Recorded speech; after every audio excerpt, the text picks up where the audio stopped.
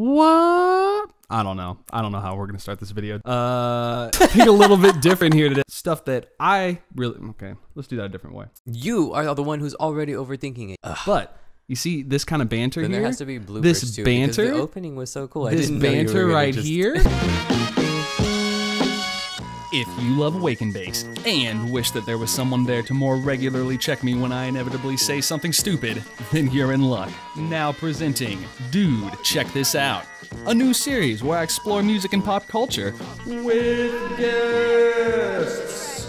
Not only will we explore classic city pop stars such as Tatsuro Yamashita and Koki Ito, but we will take you through a pop culture journey fueled by nostalgia and stream of thought consciousness. Wait, where, where's the art you're asking? Where is the culture?